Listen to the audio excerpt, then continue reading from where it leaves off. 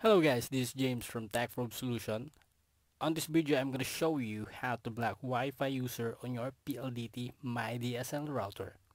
By the way guys, if you like my video, please thumbs up and please subscribe. You can also check my other videos from the description below this video. So back again on how to block Wi-Fi user on your PLDT MyDSL router. So let's start. Make sure that you are now connected to your router's internet via Wi-Fi or cable if you are using computer or laptop. You can also use Android phone, Apple device or any device which have internet browser. Once you're connected to your router, open now your favorite internet browser.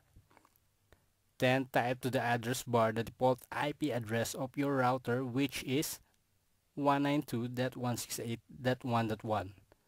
Then hit enter. There's a pop-up here you need to supply the username and password of your router.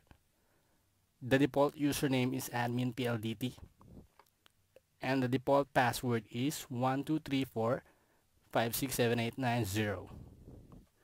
Once you supply the username and password, click OK. Go to wireless, then go to access control this is the settings page where you can block Wi-Fi user. So how can we block Wi-Fi user? First thing that we need to do is to find the device that we want to block. So go to wireless, then basic settings, then click this show active clients. These are the device currently connected to my router. What do you need to block user is the MAC address of the device.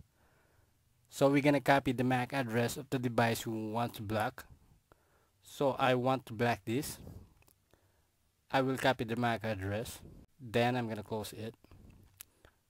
Then go again to wireless. Then access control. From wireless access control mode, select deny listed. Then I'm gonna paste the MAC address here, formatted like this. So I'm gonna open a notepad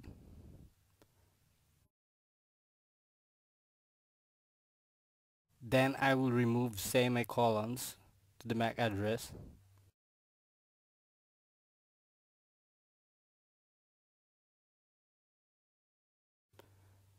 Then I'm going to copy it. Then paste it now to the MAC address box. Then click apply changes. Then wait for 20 seconds. To check if the device is already blocked, go to wireless then basic settings then click show active clients. As you can see the MAC address is not on the list anymore.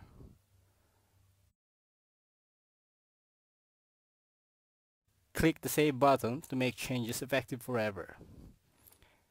So that's it guys. Um, if you like my video please thumbs up and please subscribe.